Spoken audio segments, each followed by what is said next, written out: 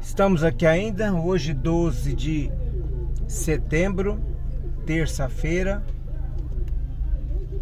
Rua Rodrigo dos Santos.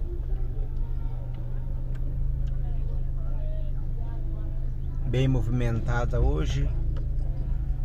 Depois do de um feriado prolongado que teve aí.